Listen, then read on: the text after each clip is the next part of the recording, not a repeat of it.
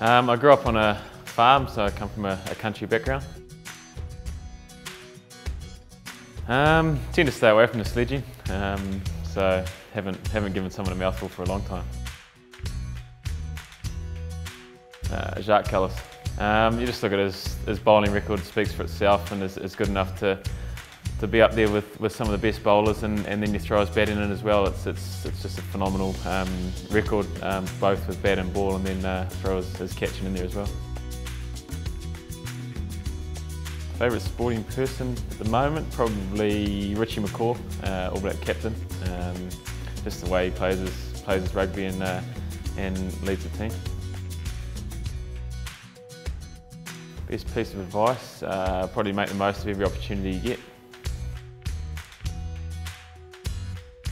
Various coaches you have when you're, when you're growing up and, and obviously your family and, and um, play a massive uh, role in, in, in, showing, you, showing you the way as a, as a youngster. Um, I enjoy just relaxing on a nice beach somewhere in New Zealand.